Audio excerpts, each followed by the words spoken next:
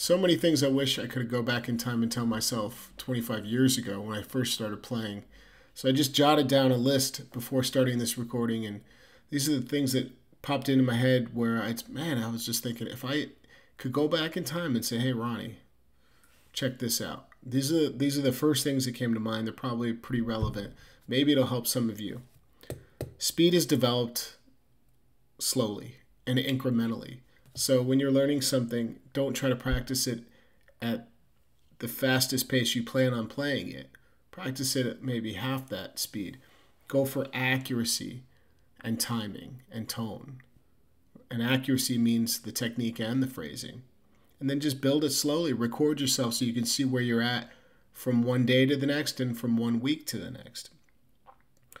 Less error is a powerful concept to to have to digest over the years that it's really counterintuitive. It's it's pulling from the right direction the diaphragmatic use of pulling air in that manner rather than trying to breathe harder to make the instrument cooperate. Less air can translate to being able to play faster um, have more fluidity in your playing and get getting a better tone out of the instrument setting goals, even if they're simple goals, even if they're not detailed, even if you just write down a couple things on a piece of paper, write them down, set goals, write them down and know what they are day to day, week to week, month to month.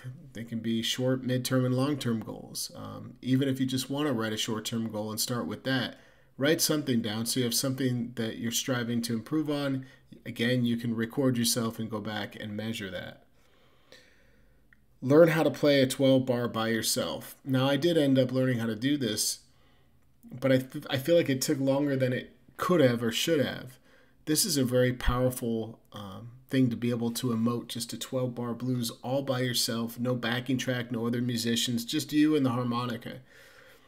There's so many lessons you're learning by being able to do that. You're learning about the structure of 12 bars, so you know exactly where the one and the four and the five chord come in and for how long. You're working on timing, you're working on phrasing, possibly. And what could be more important than being able to, if you're a blues harmonica player, than knowing that structure and being able to just play it by yourself? Just, I wish I had done that sooner. Journal often. I did journal a lot and write down. I was pretty good about this, but I would say I would tell my former self that you can do it even more. You can be more specific with your journaling and divide your journal into things like scales, riffs, and I and musical ideas, um, song studies, and get detailed with your journaling about perhaps certain parts of a song study that you're really into and why.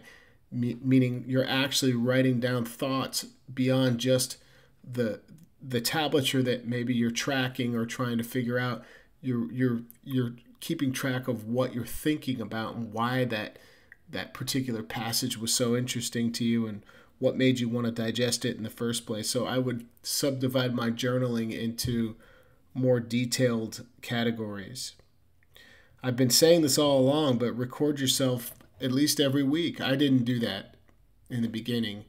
And once I did start to record my live performances, I, I quickly realized um, many things that I needed to adjust that didn't sound good to my ear, and I had to figure out why. Good example of that was catching myself using too much air and accidentally bending the four draw, pulling it on this note so hard that I'm accidentally putting flatting the note beyond uh, what the instrument can tolerate for just the natural note. Natural note versus a flatted note that's unintentional. Um, I would tell myself that no one's really judging you other than yourself, probably in your mind, as you play. So put it all out there. Be more vulnerable. You know, my biggest challenge when I was learning was uh, I was so scared to put it out in front of other people.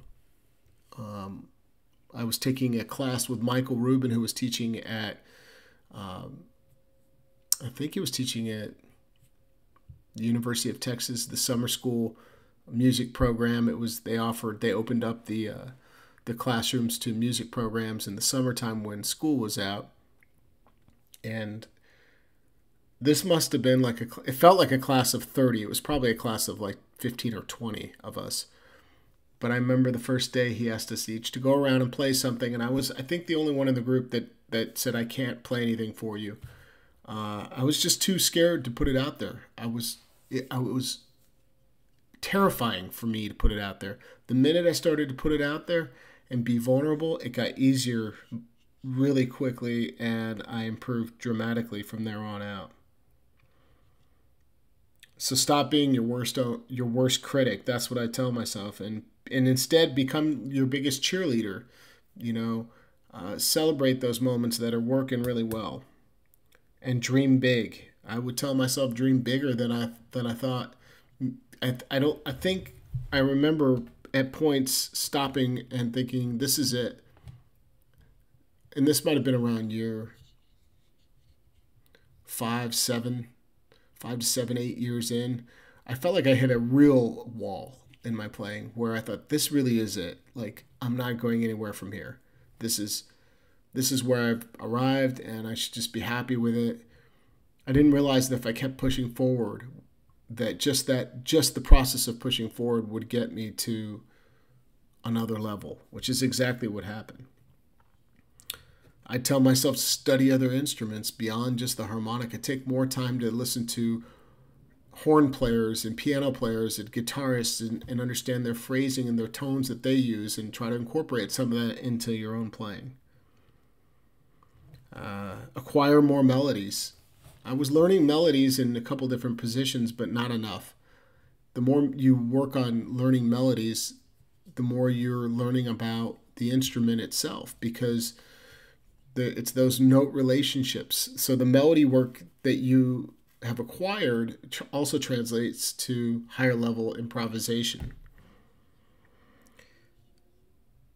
Uh, I tell myself learn every single blues groove you can find and forget the rest. And what I mean by that is, I was learning some of these grooves and bass lines naturally, but I would have been I would have said, "Hey, be stricter. Start really learning them, note for note, pick up what the bass player and the guitar lines are doing and learn how to play all that because once you can do that you really can forget the rest. And what i mean is that improvisation sort of spontaneously and naturally spawns from those grooves and bass lines. So the more you understand those the easier it is to just improvise and create the melodic lines.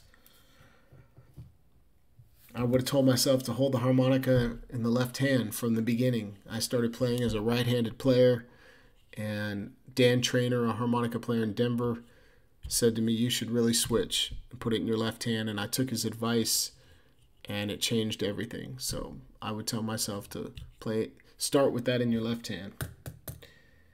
And one of the hardest lessons I ever had to learn, and this goes for probably so many people out there, and you just don't realize how true this is. So I'm going to say it and look right at the camera when I say this. Gear does not equal tone. Let me say that again. Gear does not equate the sound that you are looking for. You cannot buy your tone. You can't, and, and it's hard because in the moment you don't even realize that's what you're doing. You're chasing the solution to something that lies in technique and skill.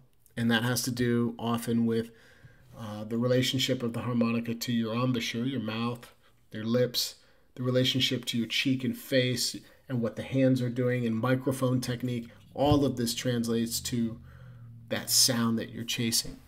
Gear does not e- equate tone. It just doesn't. That doesn't mean I don't like good gear.